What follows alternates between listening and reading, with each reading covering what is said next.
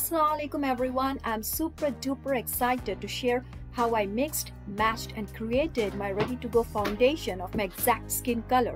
First taking a clean and sanitized glass jar. And then I'm going to use Satin Foundation SPF 15 by Modern Basic. It's lightweight, gives medium coverage and is one number darker to my skin tone. I'm using this to get soft silky satin finish in my ready to go foundation. Next, I am going to add RE9 Advanced Brightening Protective Lotion with Broad Spectrum SPF 15 as a moisturizer. It's from Arbonne. You can add any moisturizer you use.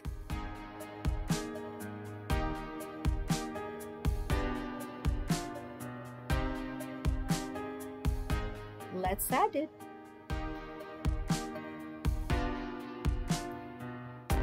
Third step, I'm going to add RE9 Advanced Prep Verb Soft Focus Veil Broad Spectrum SPF 30 from Arbonne. It's a great physical tinted sunscreen. It is one of the best sunscreen.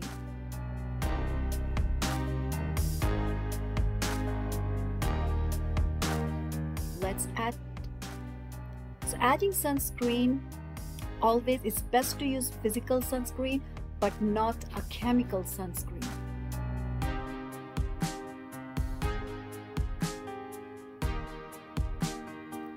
Use a spatula and mix or blend it very nicely.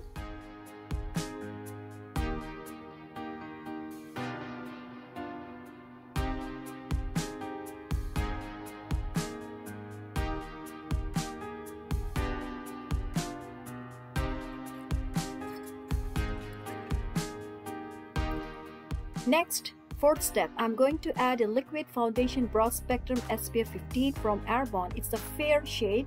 It gives light coverage and it's lightweight and it's two times lighter than my skin tone.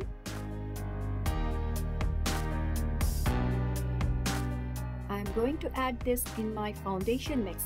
I'm adding this liquid foundation to get lightweight but not a creamy rich texture to my ready to go foundation. Now mix it very nicely. Next and the final step, I'm going to add 12 Hour Studio Blend Cover Foundation SPF 50 from Modern Basic. It's two times darker shade than my skin tone. It's thick, has creamy texture and gives full coverage. So I'm going to add a little amount till I get my perfect skin tone. I'm going to add this to get a full coverage in my foundation. Mix nicely so everything should blend greatly.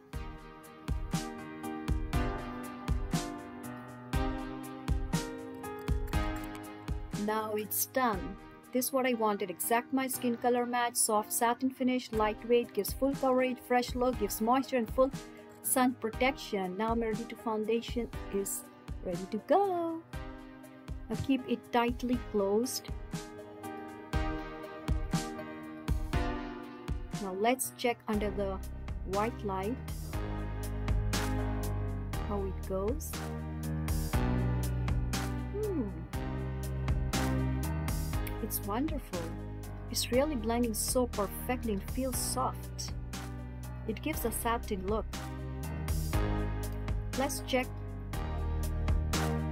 in the daylight.